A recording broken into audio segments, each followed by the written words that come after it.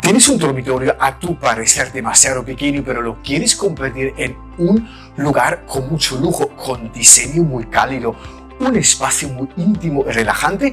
Nada mejor que quedarte en este vídeo y te voy a explicar cómo dentro del vídeo Hola, buenas noches a todos, soy Luis Benedict, bienvenidos al canal. Nuestro viaje por el mundo del interiorismo de lujo no puede parar y aún seguimos estando analizando la suite principal, el dormitorio, donde pasa toda la magia y donde nos tenemos que relajar. Eso tiene que ser un espacio cálido, relajante, tranquilo, pero a veces no tenemos todo el espacio del cual nos gustaría disponer. Y hay algunas ocasiones que me he encontrado con clientes que tienen el dormitorio principal o uno de los dormitorios muy pequeños. Hay que hacer magia.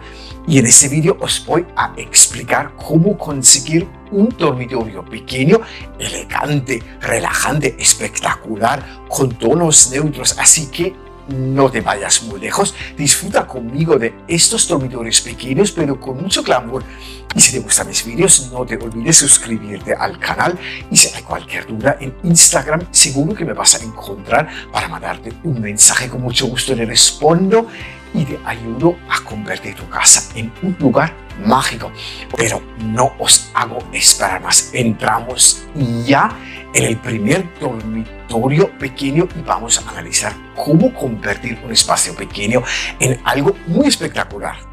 Hay ocasiones en las cuales un espacio pequeño encima de todo tiene que ser muy funcional como podría ser por ejemplo el dormitorio de unos niños que hay poco espacio que tiene que caber por ejemplo un escritorio o una pequeña butaca o el armario, el vestidor, todo en el mismo espacio. Y ahí es donde tenemos que ser muy creativos. Me ha pasado en más de una ocasión donde de repente hubo que agregar un dormitorio y hay que jugar realmente con los milímetros, igual que en la cocina. Aquí os dejo un link. Las cocinas son espacios puramente funcionales y hay que jugar con todos los centímetros disponibles porque nunca sobra espacio en esta parte de la casa. Por lo tanto, es muy importante hacer una planificación perfecta no solamente en las cocinas, sino también en los dormitorios más bien pequeños.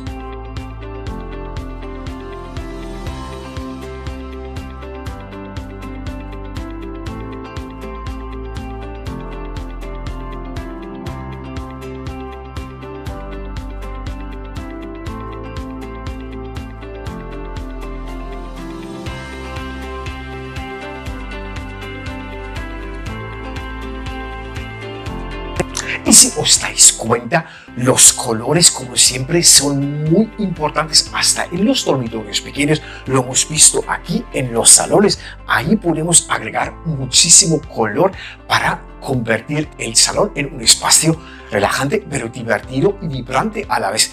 No es lo mismo para los dormitorios pequeños. Aquí se presta muchísimo un color muy neutro, como por ejemplo el gris o cualquier de los tonos pastel, blanco roto, verde manzana, algo muy potente y nada de estampados.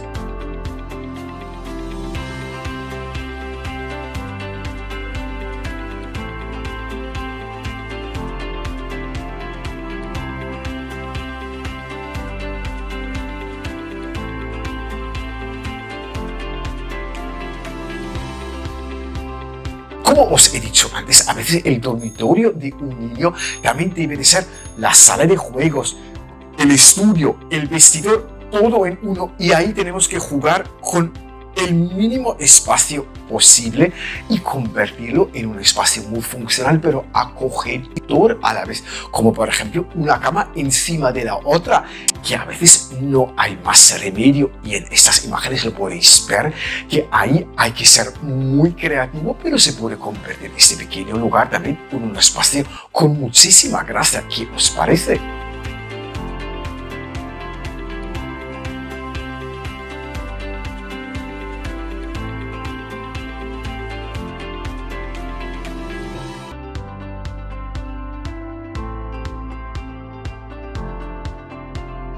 También para los niños aquí jugamos con otros colores, con tonos pasteles o con algo más vivo y también con la tapicería más divertido o por ejemplo agregar una pequeña butaca con un poco de color.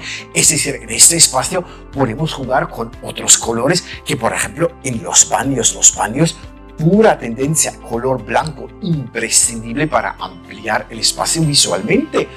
Pero en la estancia pensado para los niños, es decir, los dormitorios infantiles, aquí están permitidos todos los colores.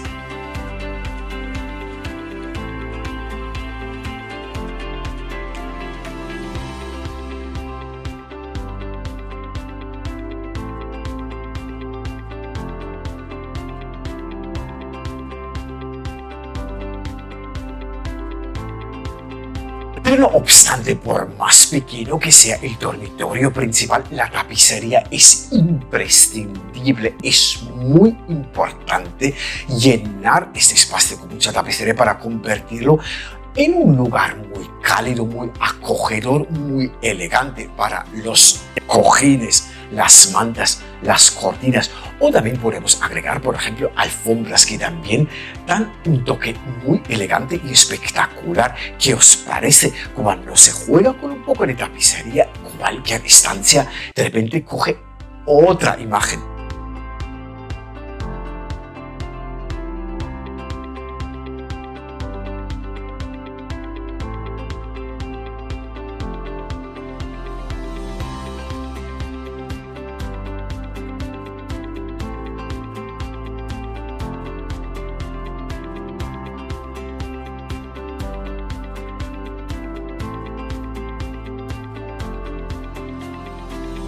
Como habéis podido comprobar, en los dormitorios pequeños es mucho mejor no abusar de demasiado color. Lo hemos visto en los comedores, por ejemplo. Aquí sí se puede agregar todo el color que se quiere para lograr un espacio muy acogedor.